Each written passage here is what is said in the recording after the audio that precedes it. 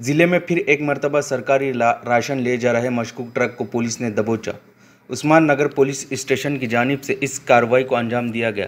Usman Nagar police station के API Shiv Prakash Mode ने बताया कि खुफिया मालूम की बिना पर उस्मान नगर पुलिस दस्ते ने वाक़ा से मारतल्ला के दरमियान बंदोबस्त लगाया हुआ था।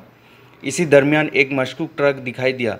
ट्रक को रोकने की कोशिश करने पर इसके ड्राइवर ने मज़ीद तेज़ रफ्तार से फरार होने की कोशिश की, जिसके बाद पुलिस ने इसका पीछा करते हुए इसे पकड़ लिया। इस ट्रक में तकरीबन 32 टन चावल मौजूद है और मज़ीद तहकीक़ात के लिए ट्रक में मौजूद राशन के नमूने जाँच के लिए लोहा तहसीलदार के सुपुर्द किए गए हैं। इस मामले में संगीन इल्ज़ाम आयद करते हुए इसको इंतज़ामिया और राशन माफियाओं की मिली भगत करार दिया।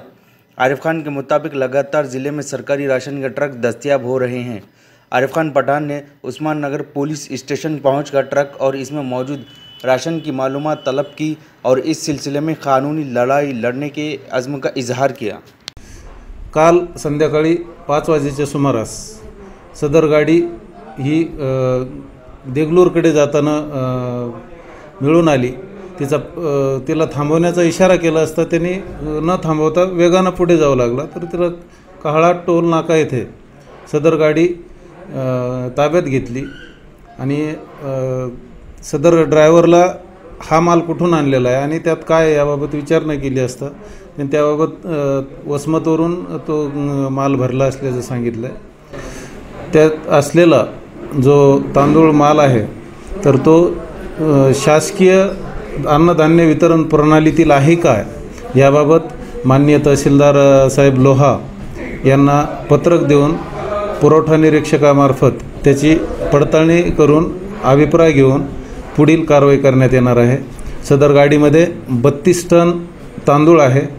पोलीस स्टेशनच्या आवारात कालच ती गाडी लावण्यात आलेली आहे. तशी नोंद घेण्यात आलेली आहे. आणि माननीय तहसीलदार साहेबांकडून पुरवठा निरीक्षकाच्या मार्फतीनं पडताळणी केल्यानंतर पुढील कारवाई करण्यात येणार आहे. और सबसे पहले तो मैं मोड़े साहब को बहुत बहुत बधाई देना चाहता हूँ। क्योंकि 2000 जुलाई 2018 में इन्होंने ही गाड़ी पकड़े थे जब तत्कालीन पुलिस अधीक्षक नूर हसन साहब थे और मीना साहब थे इनके कार्यकाल में और इनको बहुत दबाव था। उसके बाद मैंने हाईकोर्ट में लिया है कि ये के समझो सब, ये किया है मैं। अब मेरा ये कलेक्टर साहब से और विभागीय आयुक्त से ये कहना है कि राजीव पारसेवार जो फिर कंत्राटदार है कंत्राटदार, शासकीय धान्य वाहतूक का इसको बार बार सहूलत दी जा रही है। टेंडर रद्द होने वाला है, रद्द होने वाला है और उसके बाद उसको तारीख पे तारीख देती जा रही है। मैंने प्रशासन को बार बार निवेदन दिया हूँ। विभागीय आयुक्त रहो या न्यायालय रहो या कलेक्टर हो कि टेंडर नहीं देना चाहिए। फिर भी क्यों दे रहे हैं? क्या वजह है इसको टेंडर देने की? क्या? इसको जिम्मेदार सरासर कलेक्टर विभागीय आयुक्त और पुरवठा अधिकारी है। जब तक ये लोग उसके ऊपर एक्शन नहीं लेंगे, तब तक कालाबाजारी बंद नहीं होने वाली है। और जब तक ये पुलिस वाले जो गाड़ी पकड़ रहे सिर्फ़ ड्राइवर मालकों पे कार्रवाई कर रहे और छोड़ दे रहे इसका मूल मालक कौन है? यहाँ तक आज तक कोई भी नांदेड़ की पुलिस वहाँ तक हाथ डाल नहीं सकी कि राकेट माफिया कौन है। हम वही तो कर रहे हैं ना, क्योंकि बार बार आज आज से मेरे ख्याल से तकरीबन दस साल से राजू पारसेवर एक ही कंत्राटदार रखे रहा है। महाराष्ट्र में कोई कंत्राटदार नहीं है क्या? ये कलेक्टर साहब का काम है ये। और पुरोठाधिकारी का काम है, किसको देना चाहिए, किसको नहीं देना चाहिए। आप जहाँ पर भी गाड़ी पकड़ी गई वहाँ का सैंपल नमूना भेज रहे हैं। आप तहसीलदार ऐसा अंदाज लगा के दे रहा है कि नहीं, ये जो बारदाने हैं, ये बारदाने हमारे नहीं है। बारदाने के ऊपर से तुम देते हैं क्या उसका? अहवाल। माल के ऊपर देना चाहिए कि सरकारी माल है या प्राइवेट माल है?